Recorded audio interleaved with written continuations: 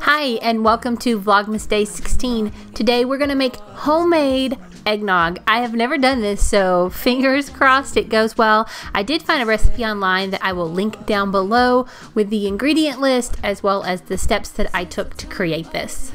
It's a time of joy, but now this year is twice as special cause I'm hoping for us to fall in. First step was to separate the egg yolk from the egg whites, and you had to do that for six large eggs as I'm trying to get your attention.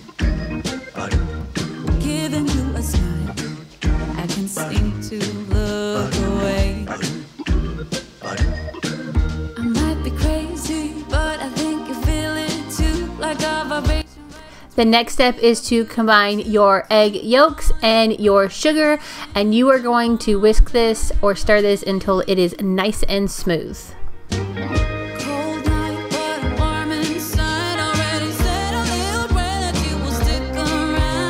Now we are headed to the stove top to add the milk, the heavy whipping cream, and the nutmeg. All the stars shine much brighter. Or is it just your eyes that have lit something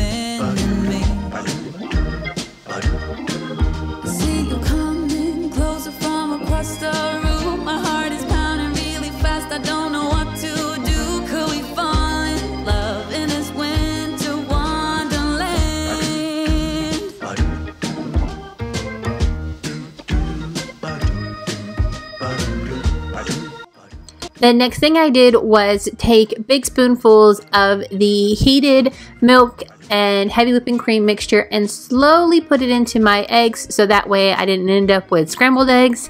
And this process took a little bit, but it's well worth it to make sure it comes out the way it's supposed to be. Once I have all of that in there, you're going to see me go ahead and put it all in the mixture and make sure it gets to 160 degrees. And then I'm going to strain it with a mesh strainer. But y'all gonna laugh. I don't own like just a traditional mesh strainer, but I have a sifter for like sugar and flour and things like that. So that's what I used and it completely worked though. When everyone's around to share this holiday. Yes, it's a time of happiness, a time of joy, but now this year is twice as special cause I'm hoping after straining the eggnog, I went ahead and put it in this milk glass container. The eggnog needs to chill, so I'm going to put it in the refrigerator overnight before I try it. Fingers crossed it comes out delicious. If you enjoy this content, I would love for you to be a subscriber, comment, like, all those things really help the channel and I appreciate it so much. I hope you have a marvelous day and I'll see y'all tomorrow.